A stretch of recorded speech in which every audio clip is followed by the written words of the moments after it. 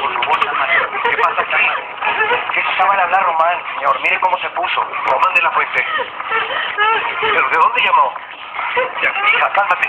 Por favor, voy por el alcohol. Es que permítame. Llame a mi señor al hospital. Sí, señor. Gracias. Cálmate. Por favor.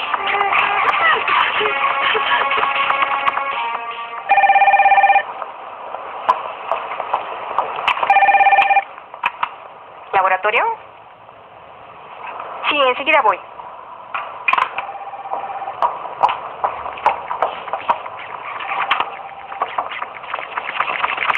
¿De dónde habló? No supimos, señor. ¿Cómo supieron que era él? Lo conozco. Yo también estoy seguro, señor. ¿Estará aquí en México? Las largas distancias siempre tienen algo de especial. Yo creo que habló de aquí, señor. Muy audaz. Eh, ¿Dónde está el teléfono del mall? Yo se lo doy, señor. Ah, no, no, no. Alberto, llévesela al hospital. Blanca la va a atender. Sí, señor, ahora mismo. Ya está bien. No estás bien. Está en la libreta de dirección.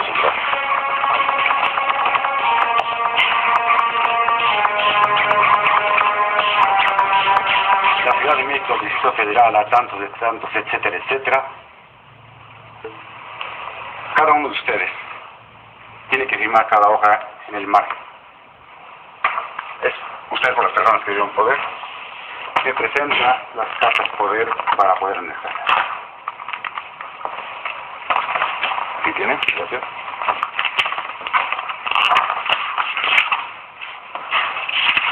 Bien, todo está en orden.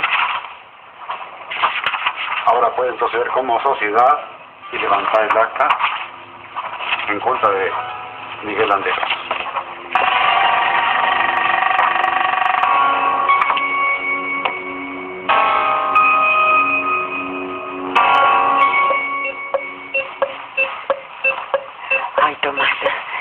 Espero poder cuidarlo.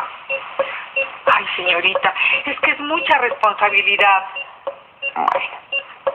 Bueno, en el hospital ya no podían hacer más por él y yo, pues, yo puedo darle mucho cariño. Qué linda es usted. Es que todo el cariño que yo tuve para él lo repartí entre mis sobrinos. Ahora se han ido. Y él necesita ese cariño, señorita. Tengo mucho, mucho, mucho. Yo pensé que repartiéndolo se me iba a acabar, pero no. El cariño no se acaba dándolo. Al contrario, ahora tengo más. Y como ahora es de él, ya no hay nada que me impida darle.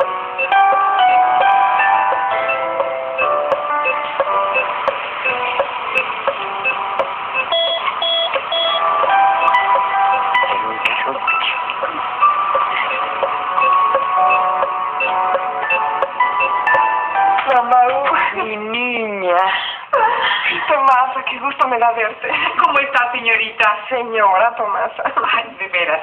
Discúlpeme. Con permiso. Max, ¿cómo está usted? Muy bien, señorita. Eh, ¿Don Miguel y la señora no están? No, pero ya están enterados de que venían. Miguel tuvo que ir a la oficina y Blanca está esperando a Dulce en el hospital con todo dispuesto. En ese caso me retiro. Dele mis saludos, por favor. Le estamos muy agradecidos. No, ni lo mencione. Max, Sí. ¿cómo agradecerte? ¿Cómo? Cuidándote mucho. Claro que sí, gracias. Con permiso. Es un caballero. Caballero. No. Un bebé. Sí, mamá, uh, ¿no te encanta? Sí. ¿Ya sabes a quién tengo aquí? No, ¿a quién? A Julio. ¿Supiste lo que le pasó? Que estuvo enfermo, ¿no? Ay, Dios. ¿Qué le pasó? Mamá, uh, tú no sabes fingir y a mí me molesta mucho que nos traten como niñas. ¿Qué le pasó? Tienes razón, hija. Ustedes ya son mujeres hechas y derechas. Sobre todo tú, que ya estabas a hacer nada. Entonces, Es que Julio...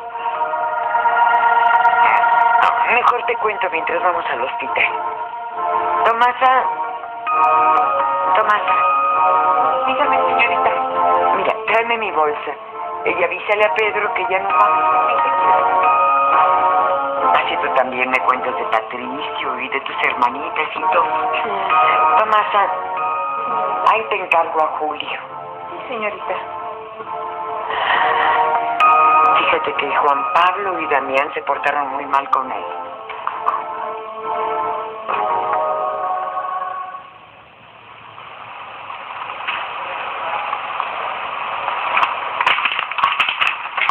Ay, señorita Valeria. ¿Sí?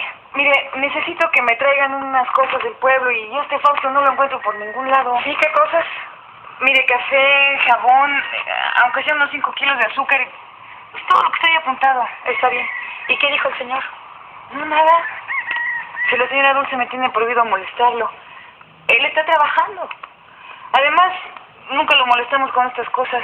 Está bien. ¿Está allí? ¿A dónde vas? Al pueblo. ¿Vienes? Bueno, así le habrá Salvador, sí. Bueno, vamos. Chona, dile a alguno de los muchachos que nos acompañe, por Sí, favor. señorita. Ay, y gracias, ¿eh? Sí, de nada. Ah, the groceries, unbelievable. Que recojan eso en la aduana. Sí, señor.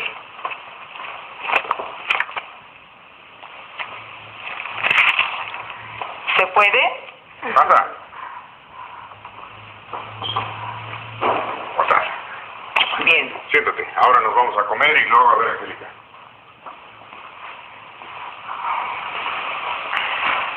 Max, te extrañé mucho.